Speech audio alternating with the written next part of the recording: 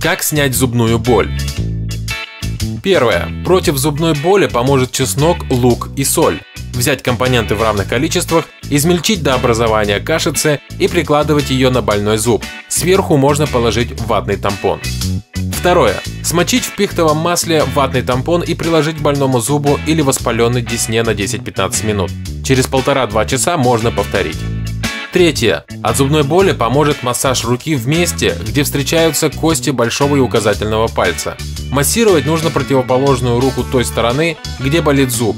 Массаж делать интенсивно, круговыми движениями в течение 5 или 10 минут. Четвертое. Облегчить зубную боль поможет массаж определенной точки. Найдите точку, которая находится в ложбинке над верхней губой. Интенсивное надавливание на нее указательным пальцем поможет боли утихнуть. Пятое.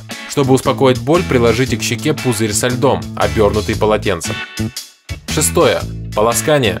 Возьмите 5-6 капель йода, чайную ложку соли, растворите в стакане воды и полощите больной зуб.